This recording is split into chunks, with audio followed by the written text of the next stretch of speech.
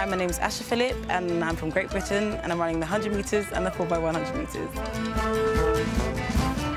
Crazy, spontaneous, and lovable.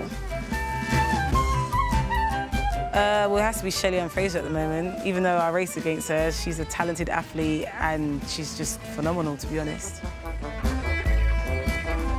So if I don't have my music or um, everything doesn't go to plan, I'm a, much, I'm a person that likes to work to time and everything has to go, okay, give me one time, I want to work to that. Give me a second time, I work to that. If you mess that up, I get frustrated. Pepperoni, extra, extra cheese. Jess Glynne, it's like a whole album at the moment. I love her.